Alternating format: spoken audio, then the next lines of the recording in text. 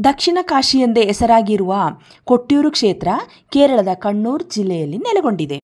ಪಾರ್ವತೀ ದೇವಿಯ ತಂದೆಯಾದ ದಕ್ಷಿಣ ನೇತೃತ್ವದಲ್ಲಿ ಬ್ರಹ್ಮ, ವಿಷ್ಣು ದೇವತೆಗಳು, ಮುಕ್ಕೋಟಿ ದೇವತೆಗಳು ಪಾಲ್ಗೊಂಡು ದಕ್ಷಯಾಗ ನಡೆದ ಸ್ಥಳವೇ ಕೊಟ್ಟಿಯೂರು ಕ್ಷೇತ್ರ. ಇವರೆಲ್ಲ ಒಟ್ಟಿಗೆ ಸೇರಿದ ಯಾಗ ಸ್ಥಳಕ್ಕೆ ಕಾಲಿಡುವುದೇ ಒಂದು ಮಹಾಪುಣ್ಯವಾಗಿದೆ. ಕೇರಳದಲ್ಲಿ ಶಬರಿಮಲೆಯ ನಂತರ ಅಧಿಕ ಭಕ್ತರು ಬರುವ ಸ್ಥಳವೆಂದರೆ ಕೊಟ್ಟಿಯೂರು ಕ್ಷೇತ್ರ ಎಂದೇ ಹೇಳಬಹುದು. ದಟ್ಟ ಕಾಡಿನ ಮಧ್ಯೆ ಇರುವ ಅಕ್ಕರೆ ಕೊಟ್ಟಿಯೂರು ಕ್ಷೇತ್ರದಲ್ಲಿ ಇಪ್ಪತ್ತೆಂಟು ದಿನಗಳ ಕಾಲ ವೈಶಾಖ ಮಹೋತ್ಸವ ನಡೆಯುತ್ತದೆ. ರಸ್ತೆಯ ಎರಡೂ ಬದಿಯಲ್ಲಿಯೂ ದೇವಸ್ಥಾನ ಇದೆ. ಅದಕ್ಕಾಗಿ ಅಕ್ಕರೆ ಕೊಟ್ಟಿಯೂರು ಕ್ಷೇತ್ರ ಮತ್ತು ಇಕ್ಕರೆ ಕೊಟ್ಟಿಯೂರು ಕ್ಷೇತ್ರ ಎಂದು ಕರೆಯುತ್ತಾರೆ.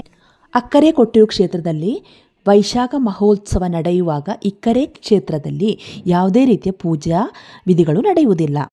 ವೈಶಾಖ ಮಹೋತ್ಸವ ಇಪ್ಪತ್ತೆಂಟು ದಿನಗಳ ಕಾಲ ನಡೆದ ನಂತರ ಪ್ರತಿದಿನವೂ ಇಕ್ಕರೆ ಕ್ಷೇತ್ರದಲ್ಲಿ ಪೂಜಾ ಕಾರ್ಯಗಳು ಹಾಗೂ ಅನ್ನದಾನವು ಇರುತ್ತದೆ. ಅಕ್ಕರೆ ಕೊಟ್ಟಿಯೂರು ಕ್ಷೇತ್ರದಲ್ಲಿ ವೈಶಾಖ ಮಹೋತ್ಸವದ ನಂತರ ಯಾವುದೇ ರೀತಿಯ ಪೂಜಾ ವಿಧಿವಿಧಾನಗಳು ನಡೆಯುವುದಿಲ್ಲ, ಮಾತ್ರವಲ್ಲ, ಯಾವ ಭಕ್ತರು ಕೂಡ ಆ ಕಡೆ ಸುಳಿಯುವಂತಿಲ್ಲ. ತಾತ್ಕಾಲಿಕವಾಗಿ ನಿರ್ಮಿಸಲ್ಪಟ್ಟಿರುವ ಗುಡಿಗಳನ್ನು ಸಹ ತೆರವುಗೊಳಿಸಲಾಗುತ್ತದೆ. ಈ ಗುಡಿಯು ಬಾವಲಿ ನದಿಯ ತೀರದಲ್ಲಿದೆ. ಹಾಗೂ ದೇವರ ಗುಡಿಯ ಸುತ್ತ ನೀರು ಆವೃತವಾಗಿದೆ. ಮತ್ತು ಪ್ರದಕ್ಷಿಣೆ ಮಾಡುವುದು ಕೂಡ ಈ ನೀರಿನಲ್ಲೇ ಎಂಬುದು ಬೇರೆಲ್ಲೂ ಕಾಣದ ವೈಶಿಷ್ಟ್ಯತೆ.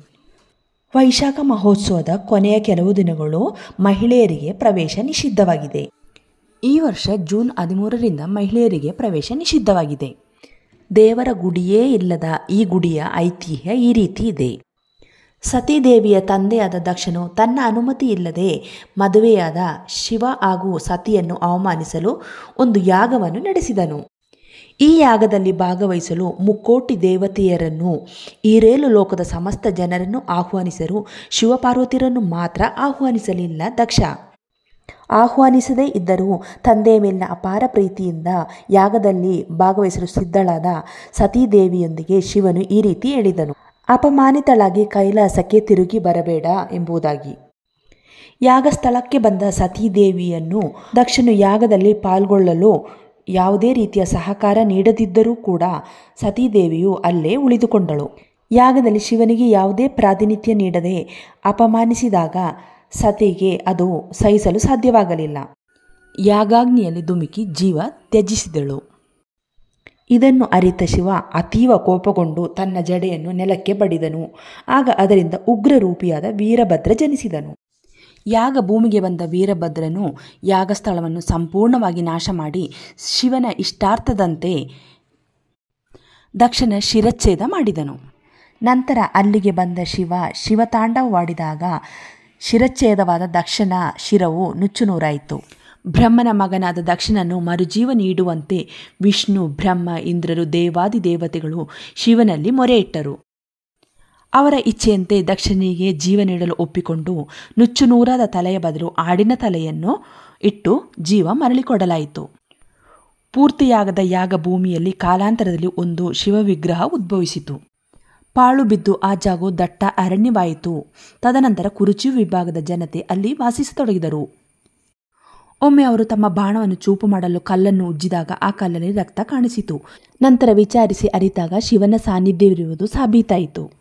ನಂತರ ಶಂಕರಾಚಾರ್ಯರು ಕೂಡ ಹಲವು ಪೂಜಾ ವಿಧಿ ವಿಧಾನಗಳನ್ನು ರೂಪಿಸುವಲ್ಲಿ ಪ್ರಮುಖ ಪಾತ್ರ ವಹಿಸಿದರೆಂದು ನಂಬಲಾಗುತ್ತಿದೆ.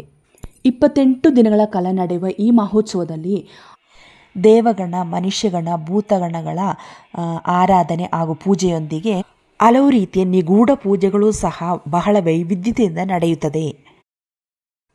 ವರ್ಷಂಪ್ರತಿ ಅವರು ಉದ್ದೇಶಿಸಿರುವ ಪೂಜೆಗಳು ಈ ಇಪ್ಪತ್ತೆಂಟು ದಿನಗಳಲ್ಲಿ ಎಂದಿಗೂ ಪೂರ್ಣಗೊಳ್ಳುವುದಿಲ್ಲ.